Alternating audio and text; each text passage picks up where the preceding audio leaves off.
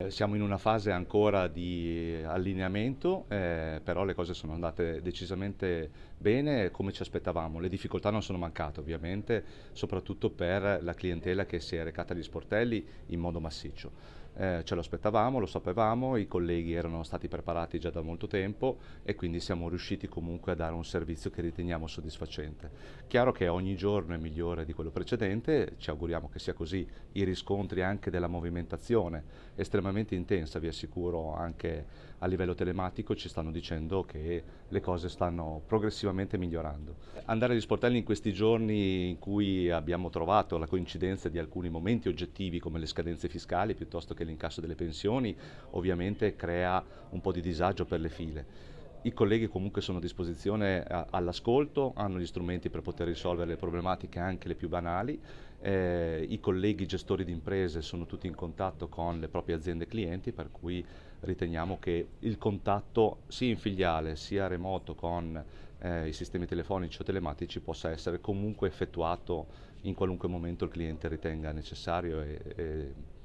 è utile. Eh, non abbiamo integrato solo filiali, ma abbiamo integrato due banche, eh, Carige e Banca Montelucca. Una terza banca è stata integrata, eh, Banca Cesare Ponti, pur mantenendo la propria legal entity autonoma, quindi sono stati integrati tre sistemi operativi in un unico sistema operativo, quindi per questo è stata effettivamente complessa.